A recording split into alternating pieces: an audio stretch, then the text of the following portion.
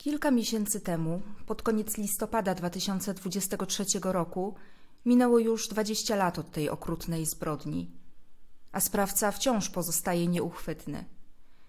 Mimo, że na miejscu zbrodni pozostawił sporo śladów, w tym ten najważniejszy swoje DNA. Dzięki temu, jeśli kiedyś wreszcie policji uda się trafnie wytypować podejrzanego, to na podstawie badań porównawczych materiału genetycznego będzie można stwierdzić, że to właśnie on. Tylko czy kiedyś do tego dojdzie? Mam nadzieję, że tak i mocno trzymam kciuki za to, by rozwiązanie tej sprawy było jednym z kolejnych sukcesów policjantów z Archiwum X, wydziału, dzięki któremu sprawcy zbrodni sprzed lat nie mogą spać spokojnie. Zabójstwo Moniki, do którego doszło w pobliżu Złotowa w województwie wielkopolskim, nie było szczególnie wyrafinowaną zbrodnią. Wręcz przeciwnie, mam takie wrażenie, że sprawca był człowiekiem takim dosyć prymitywnym, który po prostu łatwo się frustrował, na przykład odmową, a to z kolei objawiało się u niego agresją. Zbrodni prawdopodobnie nie planował, ale tak wyszło. Niestety wiele wskazuje na to, że Monika znała swojego oprawcę i sama wsiadła do jego samochodu, nie spodziewając się niczego złego. Wracała wtedy z pracy. Nie było nawet siedemnastej, a jednak do domu nigdy nie dotarła. Ale po kolei. Monika urodziła się w 1975 roku. Wychowywała się w rodzinie wielodzietnej, miała bowiem aż siedmioro rodzeństwa. W jej rodzinnym domu żyło się dość skromnie, co w przypadku tak licznej rodziny nie jest niczym zaskakującym. No ale Ameryki nie odkryję, jeśli powiem, że pieniądze to nie wszystko. W niektórych rodzinach te pieniądze są, ale nie ma wzajemnej troski, uwagi, bliskości. W innych nie ma ani pieniędzy, ani bliskości. Są za to przeróżne problemy z alkoholem na czele. Ale są też i takie rodziny, które żyją dość skromnie, ale wszyscy tam troszczą się o siebie nawzajem. I prawdopodobnie taka właśnie była rodzina, w której wychowywała się Monika. Prawdopodobnie, bo przecież nie mogę tego wiedzieć na 100%, ale takie odniosłam wrażenie, gdy przeglądałam ukazujące się na przestrzeni lat publikacje na temat zabójstwa Moniki, w tym wypowiedzi jej bliskich, mamy czy rodzeństwa. Właściwie całe życie Moniki toczyło się na przestrzeni kilku miejscowości położonych blisko siebie i zlokalizowanych w powiecie złotowskim w Wielkopolsce. Kobieta wychowywała się w miejscowości o nazwie Okonek, a po ślubie wraz z mężem zamieszkała w Jastrowiu. To jest kilkanaście kilometrów od rodzinnego domu. Pracowała natomiast w Złotowie, siedemnastotysięcznym miasteczku, które było stolicą powiatu. Powiat złotowski to powiat najdalej wysunięty na północ w województwie wielkopolskim. Zamieszkuje go ponad 60 tysięcy mieszkańców. To nie jest jakoś bardzo dużo, zwłaszcza jeśli weźmiemy pod uwagę fakt, że na tę liczbę składają się mieszkańcy wielu mniejszych miasteczek i wsi, a więc takie lokalne, małe społeczności, gdzie ludzie się znają. A jednak na przestrzeni ostatnich dwóch dekad doszło tam do co najmniej kilku dość głośnych zbrodni, co było dla mnie takim trochę zaskoczeniem. Pierwszą jest właśnie zabójstwo Moniki, do którego doszło w 2003 roku i które do dziś pozostaje sprawą nierozwiązaną. Druga sprawa to zabójstwo niespełna 30-letniego mężczyzny i jego dwóch córek, dwuletniej i sześcioletniej. Doszło do tego w 2005 roku.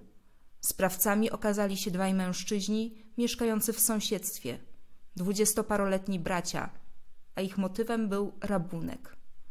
Ciała po powrocie do domu znalazła żona i matka ofiar. Trzecia sprawa też wyjątkowo tragiczna, bo dotyczy zakatowania półtora miesięcznej dziewczynki przez partnera jej matki. Nie będę zagłębiać się w szczegóły, mam po prostu nadzieję, że dla takich osób jest jakieś specjalne miejsce w piekle. No i jeszcze czwarta sprawa, dość świeża, bo z 2023 roku, ale jest ona taka naprawdę bardzo zaskakująca. E, kilka miesięcy temu została zamordowana 71-letnia kobieta. Sprawcę dość szybko złapano, a okazał się nim były mąż ofiary. E, co w tym takiego zaskakującego zapytacie? Otóż para była małżeństwem tylko przez pół roku i to jakieś 45 lat temu. Wtedy to kobieta zdecydowała się rozstać z mężczyzną i po prostu wystawiła jego walizki za drzwi. On zaś przez resztę życia nie mógł jej tego darować i po blisko pół wieku postanowił dokonać takiej krwawej zemsty. Zabójstwa dokonał z broni palnej własnej konstrukcji. No, to naprawdę pokazuje, że motywy prawdziwych zbrodni są czasem tak zaskakujące i nieprawdopodobne, że pewnie gdybym o podobnej sprawie przeczytała w książce, to trochę pokpiłabym sobie z fantazji autora. No a tymczasem życie pisze jednak przeróżne scenariusze. Tak więc działo się trochę na przestrzeni lat y, w okolicach Złotowa w Wielkopolsce. Wracamy jednak do roku 2003. Monika ma wówczas 28 lat, od 6 lat jest mężatką, od 3 lat pracuje jako krawcowa w niewielkiej szwalni w Złotowie. Kobieta mieszka wraz z mężem w Jastrowiu. Oznacza to, że codziennie w dni robocze, rano i po południu musi przemierzać trasę Jastrowie-Złotów i z powrotem. Te dwie miejscowości dzieli niespełna 20 kilometrów, kilkanaście minut jazdy samochodem. Monika najczęściej pokonuje tę trasę autobusem, który kursuje regularnie pomiędzy tymi miejscowościami. Zdarzało się też jednak, że czasem zabierała się z kimś ze znajomych, kto akurat jechał o odpowiedniej porze w tym samym kierunku co ona. Czasem też do domu po pracy odwoził ją jej szef, czyli właściciel szwalni. Monika była atrakcyjną kobietą. Młodą, ładną, szczupłą, zadbaną – co w tej historii pewnie niestety ma znaczenie, no bo jednak kobiety o tych cechach statystycznie częściej padają ofiarami ataków na tle seksualnym. Nie oznacza to oczywiście, że kobiety, do których ta charakterystyka nie pasuje, mogą czuć się bezpiecznie, bo wszak gwałtów doświadczają także ponad 70-letnie panie. No ale nasz sprawca prawdopodobnie akurat na taką starszą panią by się nie połakomił, natomiast Monika mu się podobała. Prawdopodobnie znał ją, a ona jego. Jest 26 listopada 2003 roku, środa. Monika większość dnia spędza w pracy. Po 16 dzwoni do niej mąż. W czasie krótkiej rozmowy kobieta informuje go, że zaraz kończy pracę i idzie na PKS. O 16.51 ma autobus, którym zamierza dostać się do domu. Mąż Moniki pracuje jako magazynier y, w hurtowni mieszczącej się w Okonku. Miejscowość ta oddalona jest od Złotowa o około 30 kilometrów. Z kolei Jastrowie, w którym małżeństwo mieszka wspólnie, znajduje się jakoś mniej więcej w podobnej odległości od obu tych miejscowości. Czyli zarówno Monika, jak i jej mąż mieli do pracy po niespełna 20 kilometrów, tyle że w różnych kierunkach. Mąż Moniki wychodzi ze swojej pracy około 16.30 i jedzie do domu. Wydaje mi się, że mężczyzna miał do swojej dyspozycji samochód i chyba dlatego w domu zjawia się szybciej niż powinna do niego wrócić Monika. Po powrocie ogarnia coś do jedzenia i czeka na żonę. Ale Monika wcale nie zjawia się o tej porze, o której powinna. Dochodzi godzina 18, a jej nie ma. No więc mężczyzna dzwoni na komórkę żony, ale nie udaje mu się połączyć. Zaczyna obdzwaniać najbliższych znajomych i rodzinę. Bez skutku. Nikt nie wie, gdzie jest Monika. Ale jeden z jej starszych braci jest policjantem i sugeruje on mężowi Moniki, by ten udał się na policję i zgłosił zaginięcie. Dopiero wówczas po oficjalnym zgłoszeniu do działań będą mogły włączyć się ewentualnie służby, jeśli będzie taka potrzeba. W rezultacie mąż Moniki no rzeczywiście decyduje się na taki krok i, i zjawia się na komisariacie w Złotowie już po około trzech godzinach od momentu, gdy kobieta miała wrócić do domu, a więc dość szybko, ale prawda jest taka, że możemy udać się na policję i zgłosić zaginięcie bliskiej osoby tak szybko, jak tylko uznamy, że brak kontaktu z nią jest nietypowy, niepokojący i podejrzewamy, że mogło stać się coś złego. Generalnie policja zawsze ma obowiązek przyjąć takie zgłoszenie o zaginięciu. I zapewne doskonale zdawał sobie z tego sprawę brat Moniki, który jako policjant znał przecież te wszystkie procedury, zasady. No ale przede wszystkim znał też swoją siostrę i wiedział, że nie jest to jakaś nierozsądna małolata, której mogłoby coś głupiego strzelić do głowy, która mogłaby gdzieś pójść, nikogo o tym nie uprzedzając, albo, no nie wiem, zabolować czy, czy, czy uciec. No nic takiego nie wchodziło w grę. Stąd od razu propozycja, by zgłosić sprawę oficjalnie na policję. Na komendzie w Złotowie policjanci przyjmują zgłoszenie, być może planują jakieś pierwsze działania, ale jako, że ten czas od zaginięcia jest bardzo krótki, to proszą też, by mąż Moniki pojechał do domu i sprawdził, czy przypadkiem żona nie wróciła tam w międzyczasie. Jednocześnie udzielają mężczyźnie wskazówek sugerujących, że może zdarzył się jakiś nieszczęśliwy wypadek. Radzą mu bowiem przejechać trasę, którą mogła poruszać się Monika i posprawdzać dokładnie pobocza i przydrożne rowy. Nie wiem w sumie, czemu Monika miałaby się znajdować gdzieś przy drodze, bo musiałoby to oznaczać, że zdecydowała się iść na piechotę, a jak wspomniałam, było to prawie 20 kilometrów, a więc nie jakaś niewielka odległość, którą rzeczywiście można na przykład w godzinkę zrobić z buta. Poza tym pogoda była wyjątkowo nieprzyjemna i nie nastrajała do żadnych spacerów. Jak to w listopadzie było deszczowo, zimno i ciemno. Jeśli na przykład Monika spóźniłaby się na autobus, to raczej bardziej opłacałoby się jej poczekać na następny, ewentualnie zadzwonić po męża albo kogoś innego z najbliższego otoczenia, kogo mogłaby poprosić o podwózkę. No ale jako, że nic nie wiadomo, a z Moniką nie ma kontaktu, to coś pewnie musiało się stać. W tej sytuacji to faktycznie sprawdzenie drogi z pracy do domu wydaje się logicznym pomysłem. Tak więc mąż kobiety idzie za radą policjantów, rozpoczyna poszukiwania przy drodze ze Złotowa do Jastrowia. Nie wiem, czy prowadzi je sam, czy może najbliżsi też się dołączają. W każdym razie w żadnym przydrożnym rowie Moniki nie ma.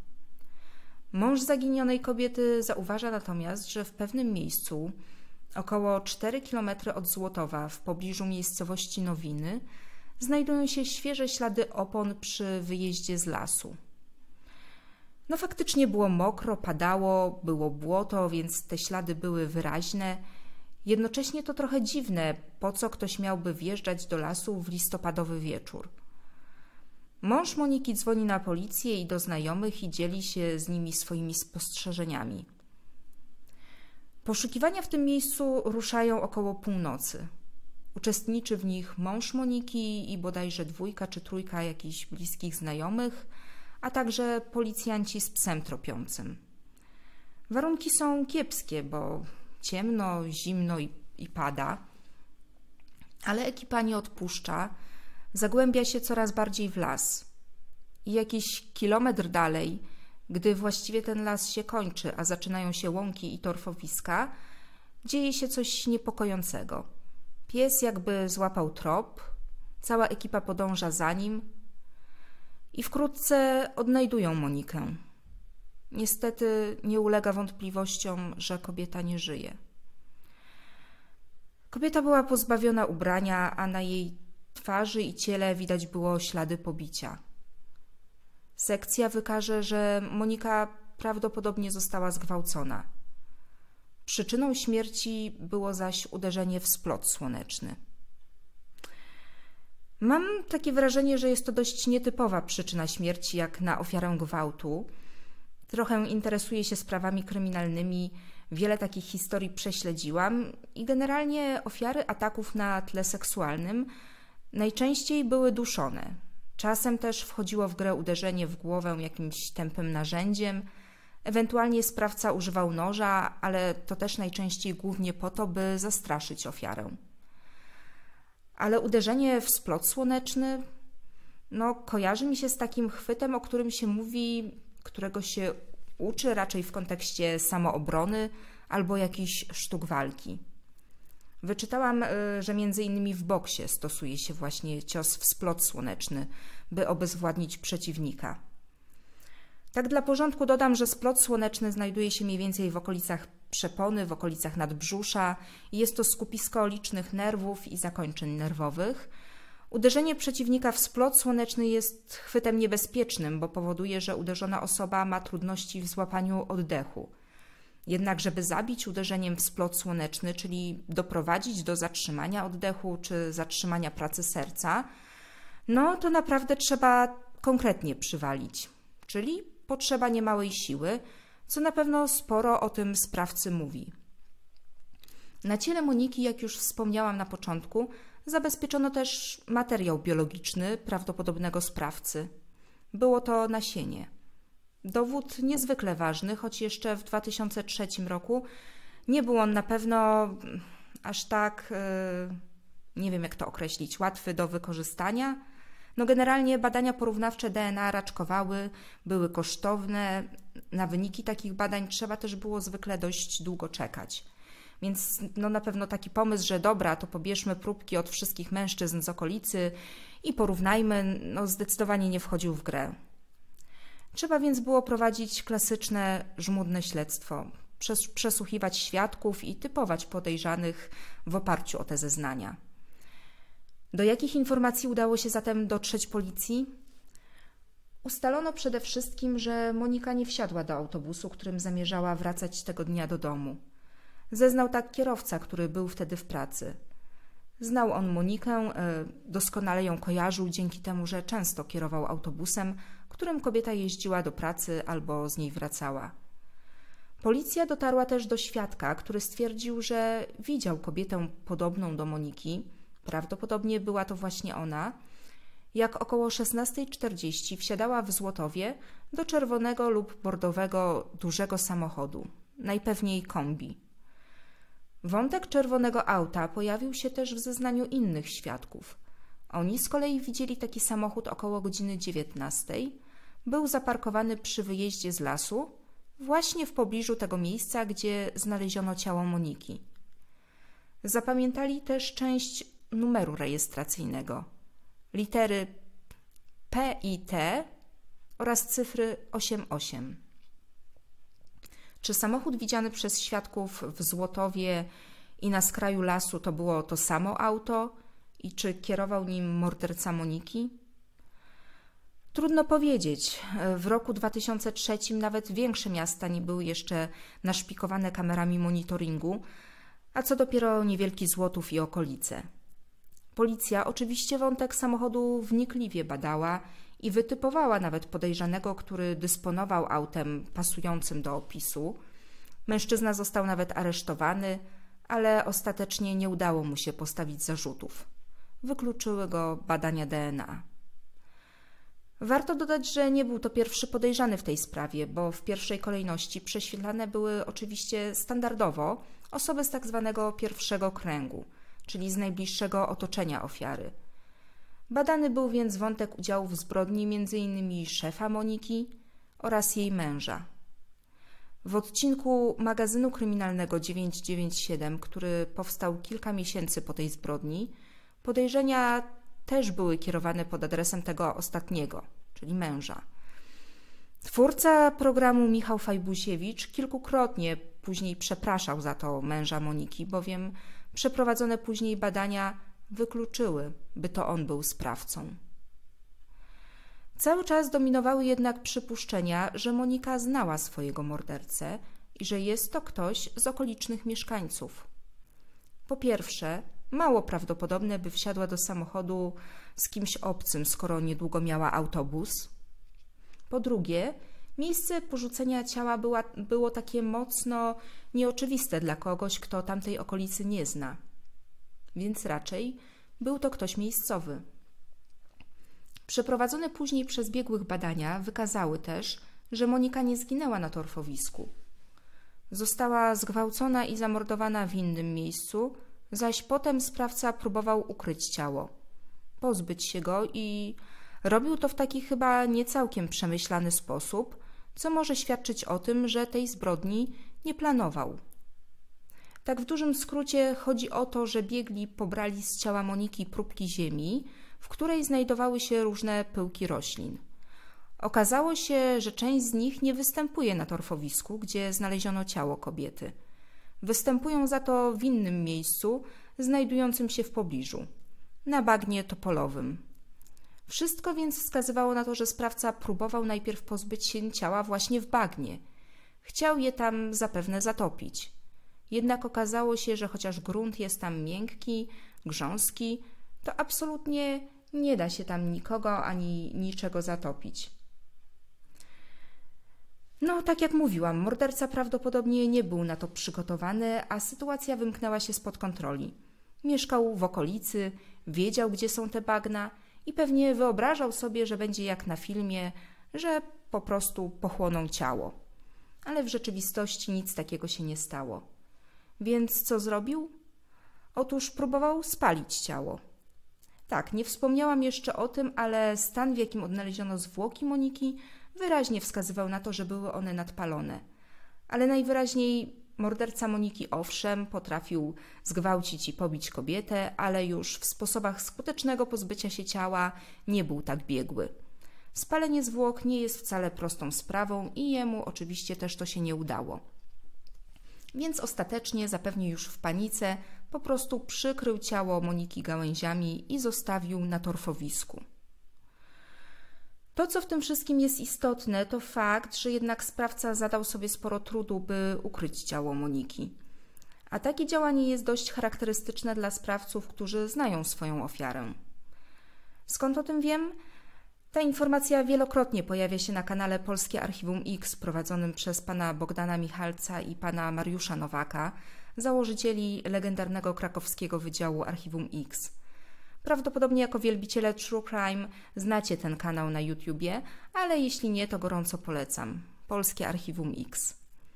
To ukrywanie zwłok to oczywiście nie jest reguła, która sprawdza się w 100% przypadków, ale często jest tak, że przypadkowy sprawca porzuca zwłoki w przypadkowym miejscu, często po prostu w miejscu zbrodni, zaś ktoś, kto znał ofiarę, próbuje te zwłoki schować, przez co wiele takich ofiar przez lata uznawanych jest za osoby zaginione. W tym przypadku tak nie było, gdyż ciało Moniki udało się odnaleźć no w sumie bardzo szybko, ale jednak ta próba pozbycia się go i to na kilka sposobów ewidentnie była. Fakt tak szybkiego odkrycia zwłok zresztą też wiele osób y, zdziwił, co znajduje swoje odzwierciedlenie no chociażby w komentarzach pod artykułami dotyczącymi tej zbrodni. Przypomnijmy, że Monika zniknęła przed godziną 17, 26 listopada 2003 roku jej ciało odnaleziono zaś już około 1.45 dnia kolejnego, czyli po około 8-9 godzinach. Był środek nocy, las, bagna. Miejscowi uzewnętrzniający się w komentarzach twierdzili, że tam nawet za dnia można zabłądzić, a co dopiero po zmroku. No, konkluzja jest taka, że ukryć zwłoki mógł tam tylko ktoś z pobliskich mieszkańców. No a fakt tak szybkiego ich odkrycia też jest uznawany za lekko zaskakujący.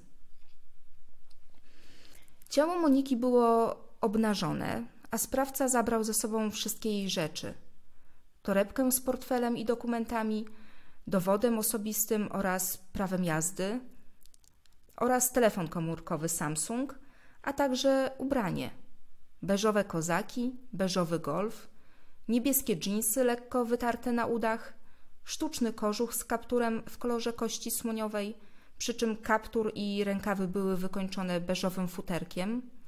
Łupem przestępcy padła też biżuteria, w tym srebrny zegarek, obrączka oraz kilka pierścionków, które Monika miała przy sobie, w tym pierścionek ze złotymi winogronami, pierścionek z białymi kam kamykami czy pierścionek z niebieską kulką.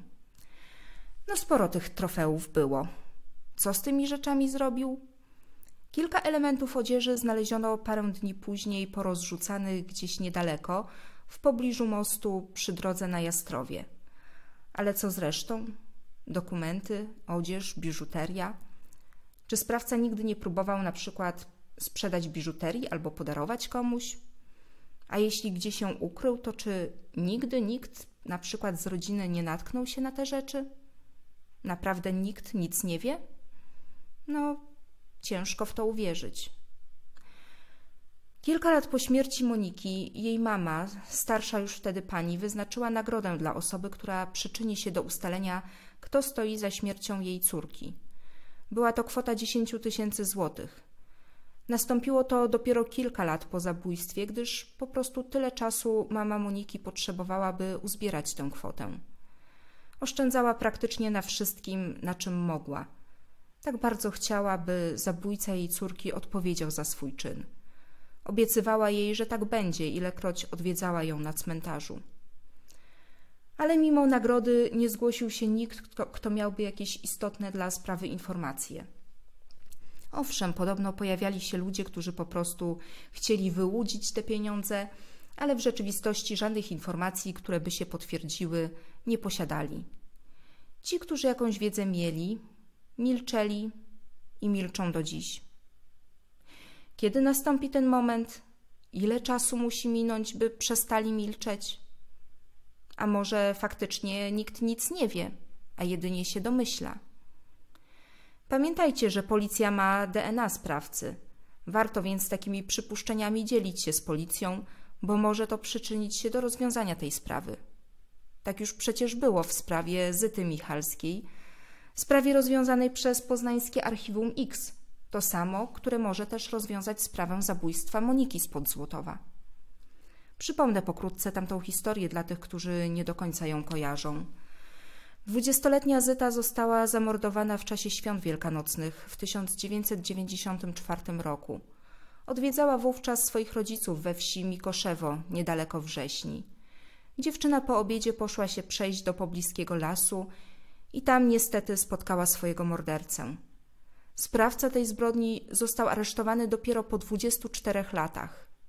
Było to możliwe dzięki temu, że on również pozostawił na miejscu zbrodni ślady biologiczne, między innymi pod paznokciami ofiary, która broniąc się podrapała go.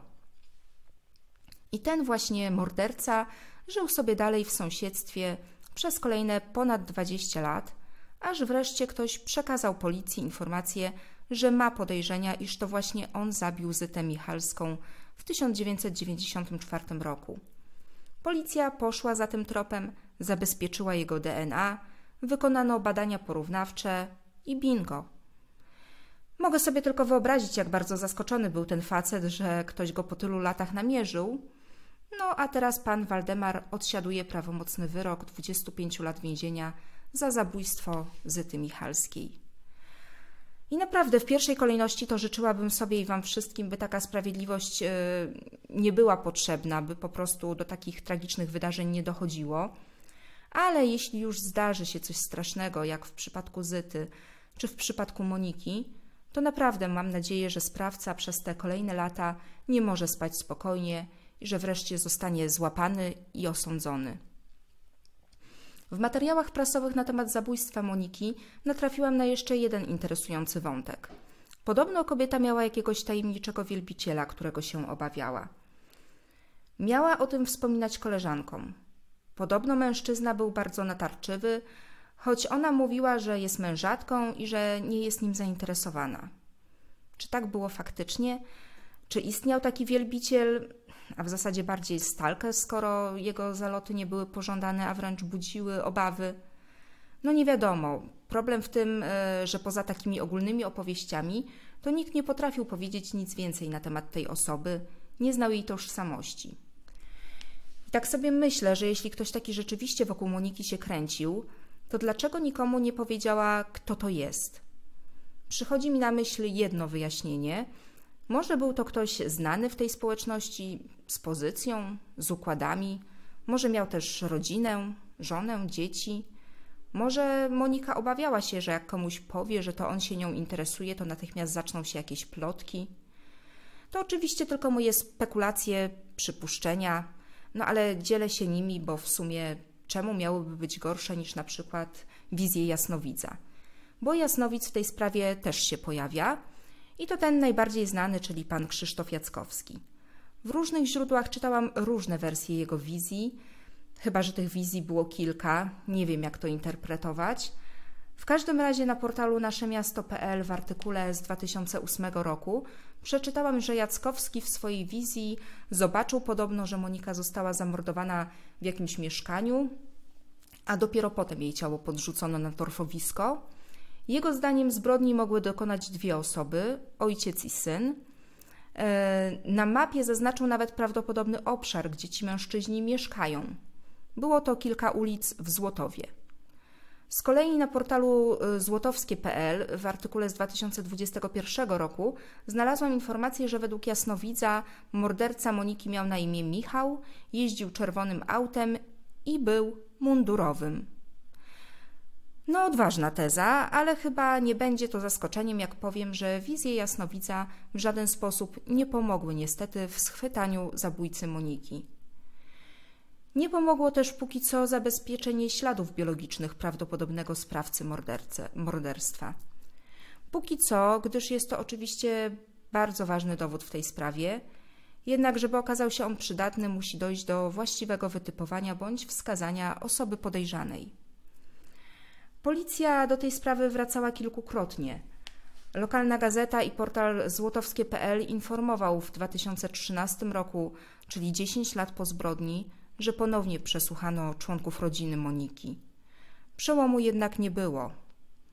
Około dwa lata temu sprawie baczniej zaczęło przyglądać się poznańskie Archiwum X. Według portalu złotowskie.pl nastąpiło to po tym, jak ktoś zamieścił komentarz pod poprzednim artykułem na temat tej sprawy. Komentarz sugerujący, kto może być sprawcą. Niestety nie wiem, co było w tym komentarzu, gdyż obecnie, akurat pod tym wskazanym artykułem, nie ma żadnych komentarzy. Wiadomo natomiast, że policji nadal nie udało się trafnie wytypować sprawcy, no i sprawa pozostaje otwarta. E, no i Poznańskie Archiwum X jest tak, na, tak naprawdę no jak najbardziej otwarte na wszelkie nowe sygnały od osób, które chciałyby się podzielić swoją wiedzą czy podejrzeniami. Co ważne, takiego zgłoszenia można dokonać anonimowo. Dziękuję Wam za wysłuchanie tego podcastu. Listę źródeł, z których korzystałam, aby ją przedstawić, y, jak zwykle znajdziecie w opisie odcinka. Jeśli interesują Was sprawy kryminalne, zapraszam też do zasubskrybowania mojego kanału. Do usłyszenia.